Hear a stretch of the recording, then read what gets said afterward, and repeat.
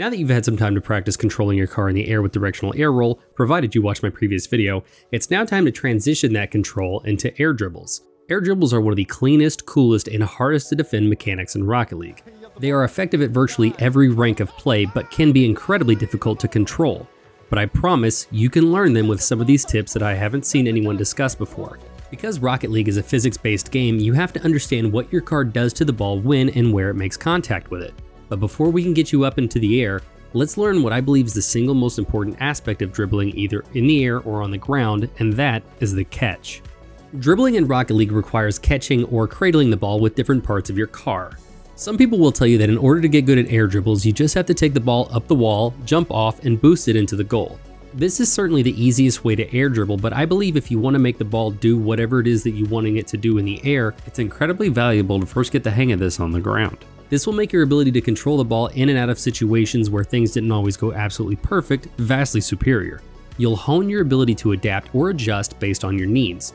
I plan to make a video regarding some more advanced car control tips, but for now I wanted to take what we learned with directional air roll and apply it to ball control. So what is the catch? Catching the ball means to touch the ball in a way that puts the ball into your control.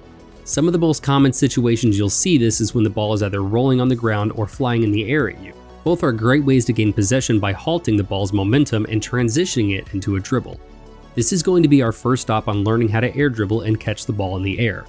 This part isn't the most exciting, but I assure you, the best way to learn something difficult is to scaffold from easier, more digestible mechanics that can all apply to the more advanced ones. Included in this video is going to be a training pack that will cover every situation, training routine, and in-game scenario discussed in this video. Side note, this pack makes for a fantastic warm-up before matches, so please feel free to load it up and get in some reps before your games. The first thing we're going to learn to do is dribble on the ground. Kudos if you can already do this as it will make the next steps much easier to learn. For this setup, we simply drive into the ball, give a quick puff of boost to get underneath it, and feather your gas or boost as needed to maintain the ball on top of your car. This can be done at nearly any speed, but to start, I encourage you to try and go as slow as you can, making minor adjustments to either your steering, gas, or boost as you get the feel for the ball on your car. There are a lot of advanced dribbling mechanics and flicks that can start from here, but that'll be for a later video. Now then, it's time to ramp up the difficulty just a bit. For the next few shots, the goal is to try and catch or receive the ball as best as possible. There are a few ways to do this, but for these shots, the easiest way is to try and position your car almost sideways to the ball. This provides the widest, flattest surface on your car for the ball to collide with. As you can see, as I get up to the ball, I'm trying to do two things at once. Position my car so that the ball would be hitting my car and the ground at roughly the same time, as well as applying some brake and turning my car away from the ball, ever so slightly. Just like using the egg drill when playing catch, I want my car almost moving away and with the momentum of the ball in order to provide the softest touch possible to either deaden or reduce the speed of the ball as much as I can. From here, if the ball is still up in the air, you can either shoot it or slide underneath it to set up another dribble. As your mechanics improve, coming back to the first few shots in this pack makes for a great ground to air dribble training, but we can get to that in a bit. As we move on to the next few shots, these are meant to focus on receiving balls that are now coming towards us in the air. Again, the goal here is to receive the ball, which is best achieved by tilting your car's roof away from the ball with the goal being to hit or catch the ball with the meat of the car's front wheels. Another tip for this is to try and tilt the nose of your car away from the ball on impact, again going with the momentum of the ball for the softest touch possible. The only difference between these shots are the speed at which the ball is moving, so take your time before moving up to the faster ones. For more advanced training when you become more comfortable, you can quickly transition these into full court wall to air dribbles, clears, or passes to your teammates. These next few shots are similar to the goal line catches except now we are simulating a cross court pass downfield. Just like the last two, the difference between these shots is the pace of the ball so that you can have experience with these at different speeds and impacts. Some cool things you can do with these passes are to catch and set up either a power shot, potentially a pass to another teammate, or a redirect. Because most defenders will see this as a shot threat, simply playing the ball like you're going to shoot but instead catching the ball with the front wheels makes for an incredibly effective fake. This one is a little more tricky for sure and could take a lot of practice to get down, but it is certainly worth knowing how to handle it. Just because we are up on the wall, all the same principles of making a catch still apply here. As a matter of fact, I found that an even more exaggerated braking and receiving works well here. Being underneath the ball just as it makes contact onto the wall is going to yield your best results. Because the hitbox of most vehicles has a slight slope towards the nose, hitting the ball with either the top or the side of your car can send the ball off and in the other direction and doink it back towards your net. The timing of your jump is important on this one since you're going to be killing the momentum of the ball so much that getting underneath it for an air dribble has a very short window of opportunity. In most cases though, you should be able to jump off the wall after the ball and either air dribble it or flip into it towards your desired direction. If this particular shot gives you trouble, don't be afraid to skip it and come back. This is one of the hardest catches to make and can easily pinch the ball off the wall more often than not. Alrighty, now it's time to get up in the air and start making some contact. This one might seem a bit silly, but since we worked on aerial car control, it's time to put that mechanic to use for this one. We purposefully have the ball lined up opposite of the goal from us so that we are forced to fly around in an arc in order to make contact that would result in a goal. No surprise that this is just good overall training for making an aerial shot that requires a large in-air adjustment. I encourage taking this slow at first and after time building up your speed as you get more comfortable with steering in the air. These next two shots are virtually the same, the difference being that the first shot places the ball in the air for you and the second familiarizes you with actually hitting the ball and popping it up yourself. It's on a much smaller scale of course, but this is where the culmination of all this training is leading.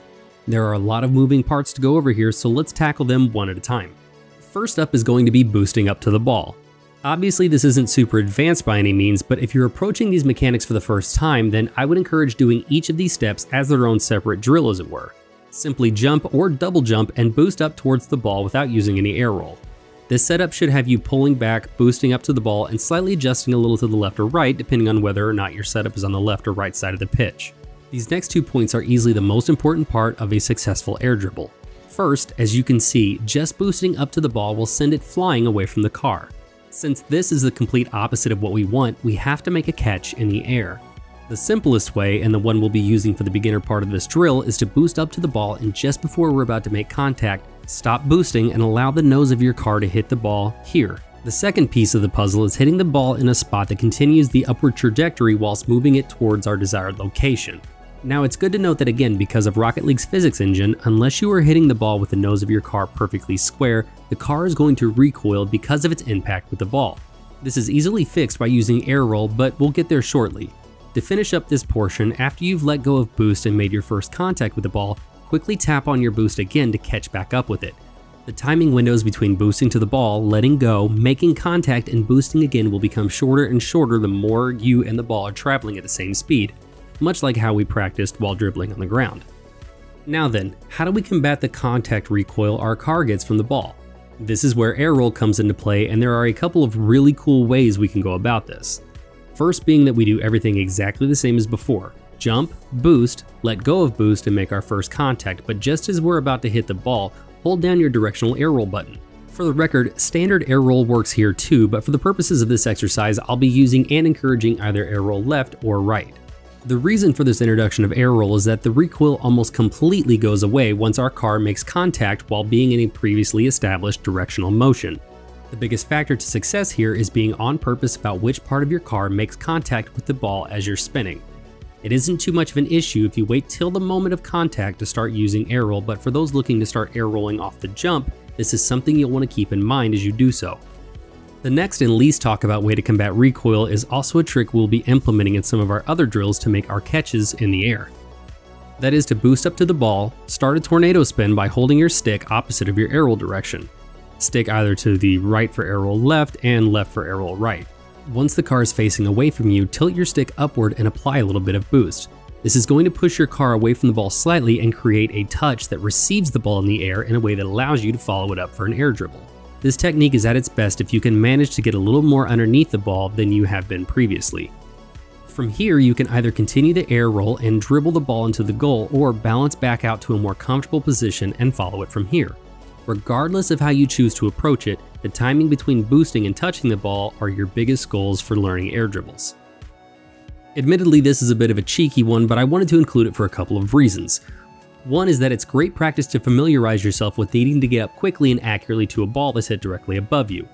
It could be the difference between scoring or getting scored on, so it's worth spending some time on this one.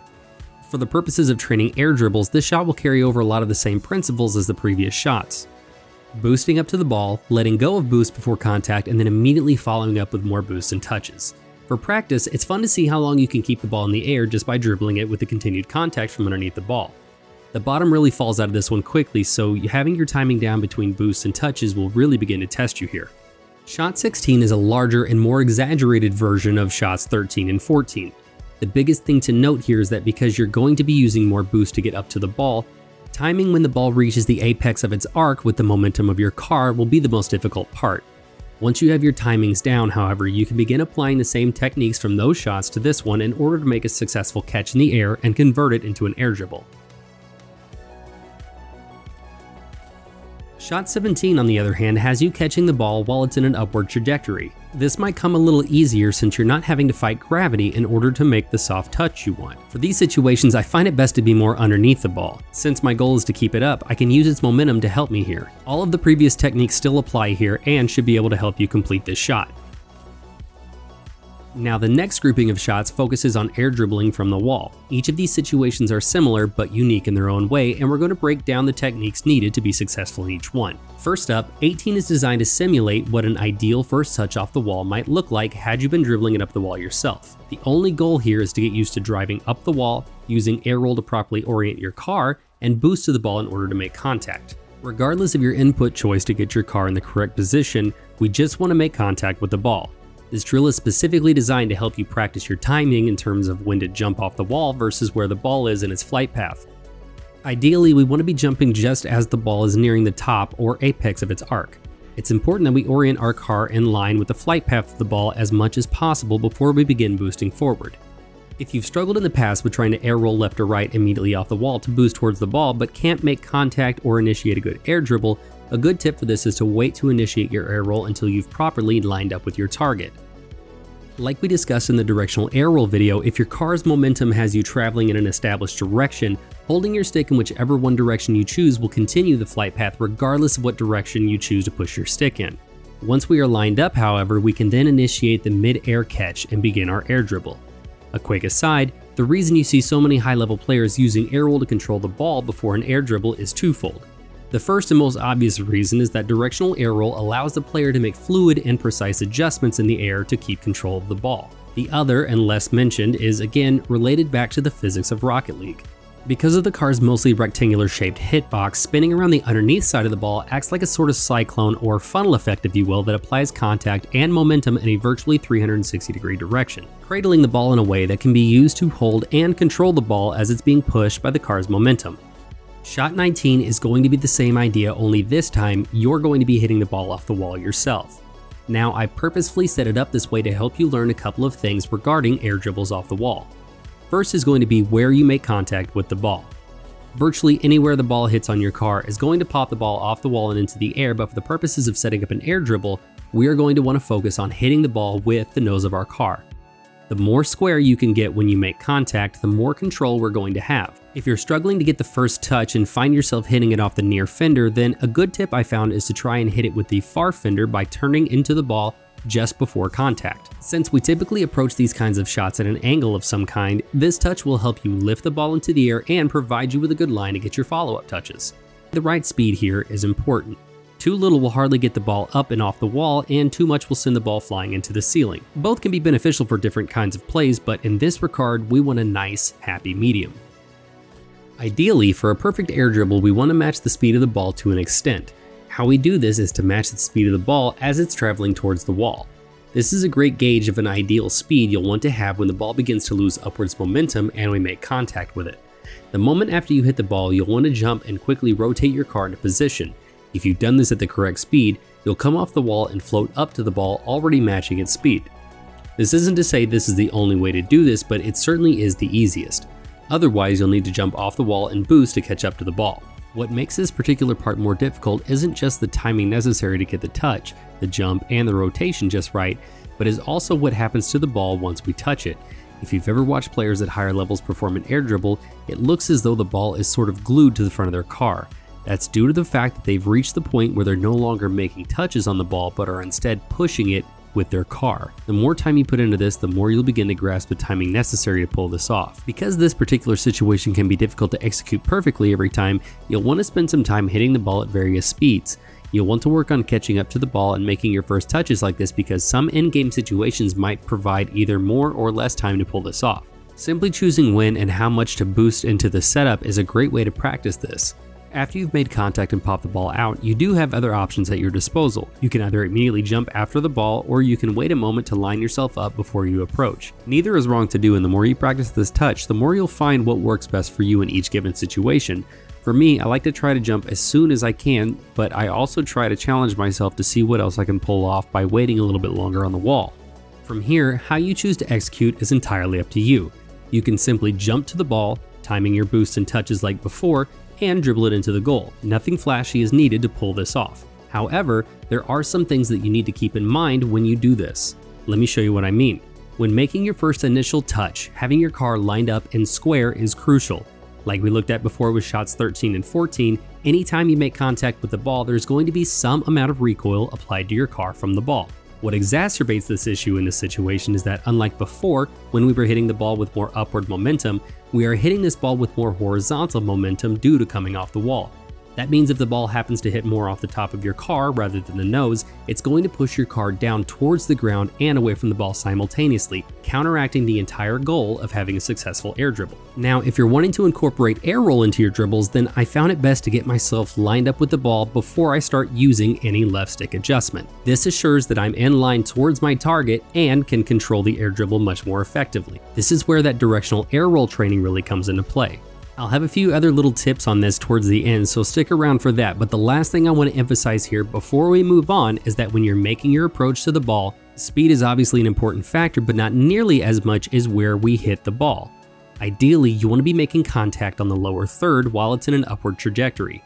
This makes catching and cradling the air dribble exponentially easier to do. Shot 20 employs all of the exact same techniques from Shot 19, only this time we're going to be using some of the earlier techniques regarding catches on the ground. I like this shot because I feel it more accurately represents an in-game scenario in which you'll have an opportunity to take control of the ball and set yourself up for an air dribble off the wall. A good tip if you're looking to try and do this setup quickly, since most in-game situations require a fair amount of speed, is to catch the ball in a sort of pinch towards the wall. The timing here can be tricky, so don't get discouraged if it takes a bit of practice to get it down. Since our goal is to catch the ball and send it to the wall, instead of catching it with the side of our car like before, we're going to be using the ball's momentum and simply redirect it while simultaneously putting it on the ground. This is done by timing your contact with the ball just before it touches the ground. It will feel almost like the ball rolls off the tip of your hood and you can even give a slight tap of the boost in order to give the ball a little more speed if you'd like. Shots 21 through 23 are more defensive than offensive, but should absolutely be tools in your air dribble arsenal. The first is going to be a ball that's rolled into your corner, allowing you to grab the big boost pad as you make your approach. As you get better, you'll be able to dribble this across the length of the field, but as you work towards that, I suggest just trying to see how far you can take it, as it might make for a great mechanic to work on in regards to defensive clears. Next is a static ball that you can use to approach hitting it in several different ways. The simplest being a jump off the wall, air roll into position, and either flip or make contact with the ball. A fun tip here is that if you choose to flip into the ball, you can convert these into air dribbles, but only if you're aware of a couple of things. First being that basic front flips are going to be a lot less powerful than diagonal flips, so following them up can be much easier to do. Second being that just like our first touches before, not boosting when you flip into the ball will create a much softer touch than with boost. Since you're lined up with this already, you have a lot of creative options on how to approach this one.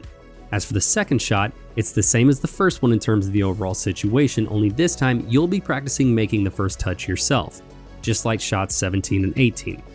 This is a setup I believe doesn't get as much practice as air dribbles from midfield, but it can be a huge game changer the further you get into your aerial car control journey. The last shot in this pack is going to be very similar to shot 18, with the biggest difference being that you're not just trying to hit the ball towards the goal, but catch it as you're traveling with more horizontal momentum versus vertical. The key here is to try to time your jump off the wall as to both be in line with your target as well as catching the ball as it's still traveling upward. The window of opportunity to do so is very small, but a lot of situations like this tend to come up in games where you need to make a catch on the ball that's just slightly off the wall, so I felt it important to include in this pack. For the final part of this video, I want to cover just a few tips and tricks you can work on in order to gain more control and overall mastery of dribbles, specifically in the air. The first is going to play well off the previous coverage of aerial car control. Oftentimes, you'll find yourself in situations where you're ahead of the ball on an air dribble. This is where employing that air braking technique I highlighted will come in most handy. Doing this requires that you spin your car around while boosting a little to get back behind the ball while still following it. I recommend only adjusting your left stick in order to point the nose of your car away from you so as to not send your car so far offline that you won't be able to make a follow-up touch. It can even be helpful to stop boosting after you've adjusted backwards and wait a moment for your car to be back in line with the ball and then boosting to catch back up for the dribble. Now, if you've gotten this far and are still struggling to control the ball in the air or even your car for that matter, then what you'll want to start focusing on is this last tip. Either coming off the wall or jumping into the air, you'll need to take into account your car's momentum as it's flying or floating in the air. This is one of the biggest reasons for learning directional air roll because it allows for a much more fluid and controlled ability to steer left and right versus trying to turn without it while boosting. But if you haven't gotten that part down yet, that's okay. You can still air dribble and steer without it. You just have to be aware of how to do it. The best way to do so is to not overcommit in any one direction for too long. The difference in steering this way versus using air roll is like the difference between turning a school bus versus a Mini Cooper. Not committing too much in any one direction and being very light on your boost can net you the results you're looking for. Of course, this comes down to timing and feel, but keeping this in mind when doing so is going to help you get to where you want to be much quicker. There are a lot of other nuanced touches and mechanics in Rocket League I'm looking forward to covering, but for now, I'm going to wrap up this video. It got a little long, but I hope you got as much value out of it as I did. I hope these videos are helping you connect all the missing pieces regarding mechanics. I enjoy breaking these things down, and I look forward to seeing you all in the next one. Until then, get out there and get to air dribbling.